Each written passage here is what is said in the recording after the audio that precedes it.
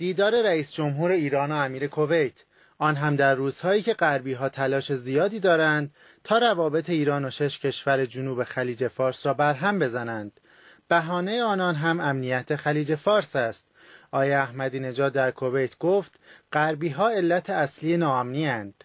در طول تاریخ ایران حافظ امنیت منطقه خلیج فارس و کشورهای همسایه بود. تنها در زمانی که نیروهای بیگانه وارد منطقه شدن امنیت آسیب دیده. من از شما سوال می‌کنم حضور بیش از 120 ناو جنگی غربی در خلیج فارس برای چیست؟ وقتی اونا سالانه 40 50 میلیارد دلار اسلحه میفروشن در منطقه باید خب یه اختلاف ایجاد کنن جو ناامنی درست کنن که بتونن بفروشن. ایرانیان مقیم کویت هم خانوادگی به دیدار رئیس جمهور آمده بودند.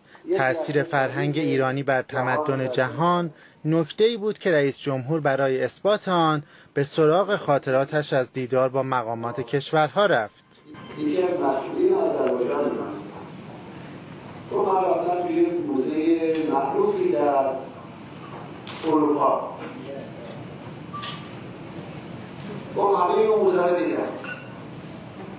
یه لحظه فکر کردم. اگر آثار مربوط به ایران رو از این موزه برداریم آیا چیزی ازش باقی بود؟ در اولین دقایق بامداد امروز رئیس جمهور به تهران بازگشت تا سفر سه روزه به باکو و کویت به پایان برسد.